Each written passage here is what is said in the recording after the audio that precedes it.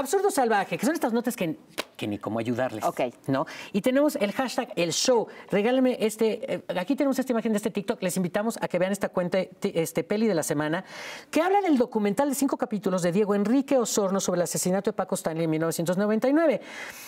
Que hace una breve historia, revisión. Lo mismo, yo no soy quien para ser árbitro del contenido, sino del fenómeno viral que, eh, que es una breve historia sobre la vinculación entre la televisión mexicana y el poder político. Que es brutal y es donde viene el absurdo, es uno, gente confesando actividades criminales a cámara. Y es ahorita la serie, mm, junto con, me voy a ahorrar el tema de la Casa de los Famosos, bendito Dios, Wendy no, tren- Wendy no trendió esta semana, gracias Dios, gracias. Este, no tengo comunidad trans forever, pero hay discursos que no hay. Hay diversidades en las diversidades.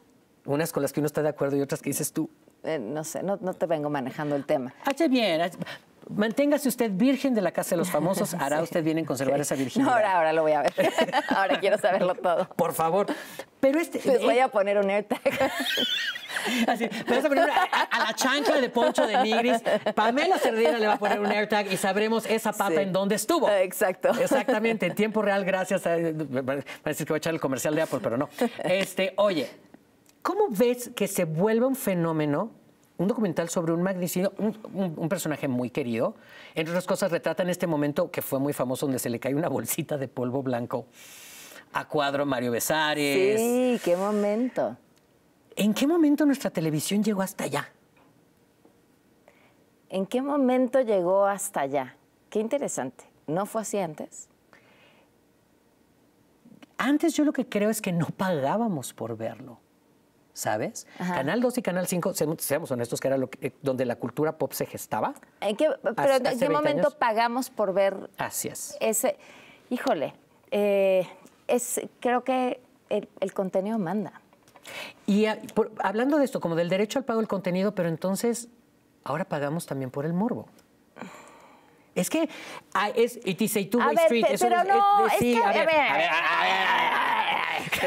A ver, A ver. es, y los que nos ven en casa tienen que involucrarse porque les toca a ellos Ajá. y a ellas. Es la eterna discusión de los medios de comunicación. Sí. ¿De qué hablas? De lo que tienes que hablar, de lo que debes hablar o de lo que le interesa a la gente. ¿Cómo sabes qué le interesa a la gente? Bueno, en la televisión hay unos aparatitos que yo nunca he sabido de nadie que sepa de alguien que los tenga, pero dicen que hay unos aparatitos que están en algunas casas y la gente sabe. La radio te va, te preguntan en la calle, entonces si le atinas a tres respuestas va al punto y así. Eh, en internet, bueno, pues es muy claro, ¿no? Los views y tal.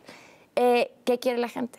Hay quien cree que la gente quiere confeti y juegos y aplausos fáciles. El juego de la oca. Hay quien cree que la gente quiere risas, hay quien cree que la gente quiere la nota roja, Sí. hay quien cree... Y, y- y yo creo que pues todo es válido. Tú simplemente decides, como creador de contenido, de qué tipo de contenido quieres crear y Claro. qué- quién, quién quieres que te siga. ¿no? Y sin duda alguna, por un lado está la responsabilidad de los creadores, pero también, insisto, hay una responsabilidad de las audiencias. También lo que tú eliges ver determina quién eres. Sí, Al margen de las modas. tú decides si le entras a la moda, a, la- a la, claro. a la mona del pantalón acampanado o Claro, no. pero, pero lo, que, lo que ves en la televisión, lo que ves en tu teléfono, lo que lees, lo que te comes, o sea, e- eres todo lo que consumes, eso te va construyendo. Eres, un, eres una construcción de los todos. Por eso es escríbanos qué opinan del show de Paco Stanley, por favor.